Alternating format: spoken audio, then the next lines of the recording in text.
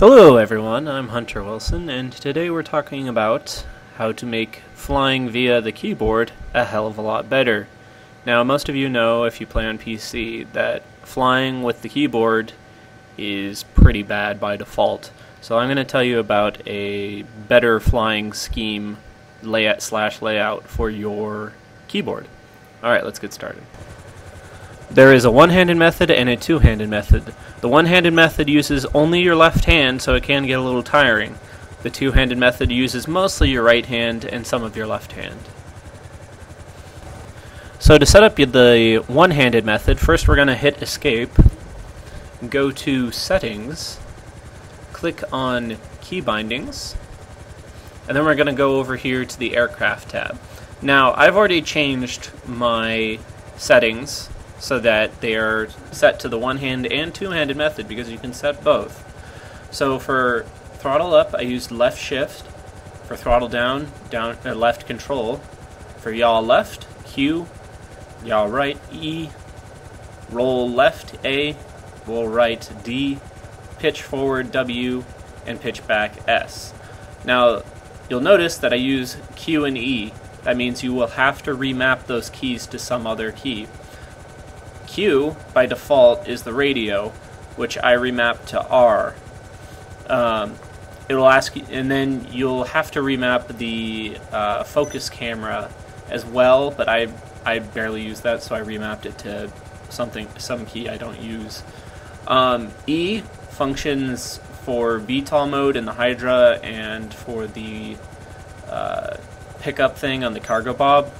Uh, I just remap that to B.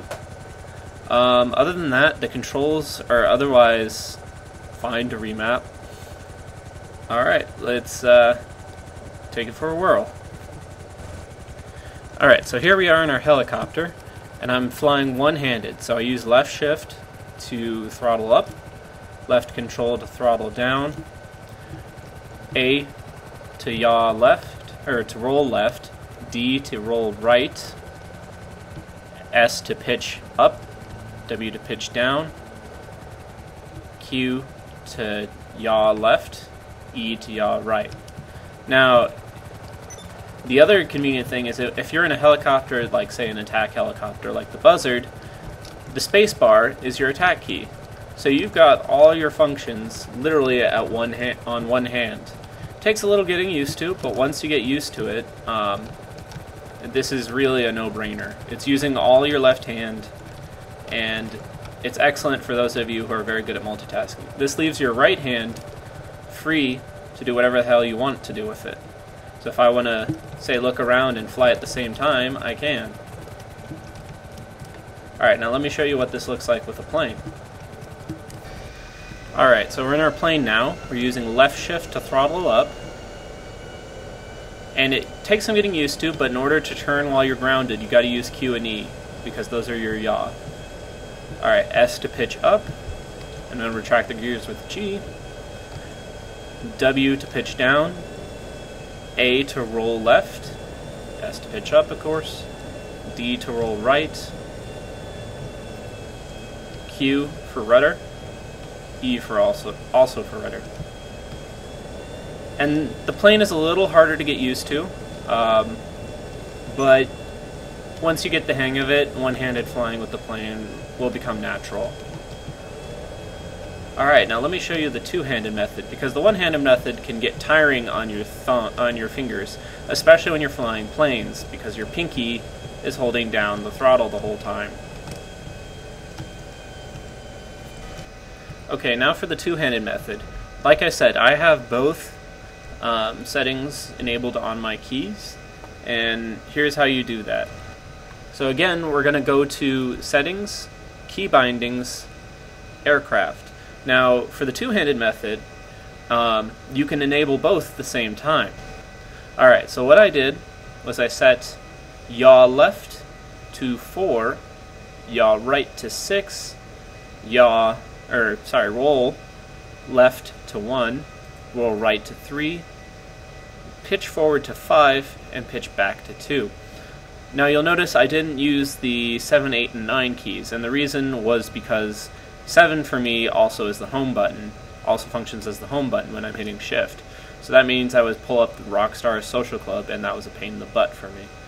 So this is the settings I used. If you don't have 7 acting as home, you can also use 7. You can move these all one key up.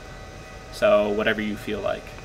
Alright, now let's give this a shot. I'll show you both the plane and the helicopter, and we'll be good to go. Alright, we're here on the runway. Shift to throttle up. And we're going to use 2 to pull back, pitch up, retract our gear with G. We're going to use 5 to pitch down, 1 to roll left, 3 to roll right, 4 to yaw left, and 6 to yaw right. And that's really all there is to it for the plane. This makes the plane easier, and it doesn't kill your pinky like the one-handed method does. Um, if you're flying a Hydra or a Lazer, you can use the spacebar in your left hand to shoot. So now I'll show you how the helicopter looks. Here we are in our helicopter, now using the two-handed method. So left shift to throttle up again. Two to pitch up. Five to pitch forward. One to roll left. Three to roll right. Left control to throttle down. And four to yaw left. Six to yaw right.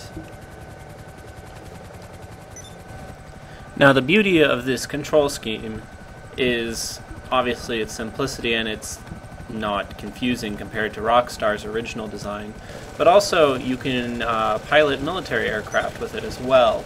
Right now, I'm using uh, a shift to throttle up, spacebar to fire, left control if I need to throttle down. I can hit tab if I want to change weapons, and I'm using the number number pad um, for guidance. So this control scheme works well for pretty much anybody. It takes a little getting used to, but otherwise it's I've found it to be really awesome when I need to use the keyboard to fly. So good luck, um, good flying, and I'll see you in the game.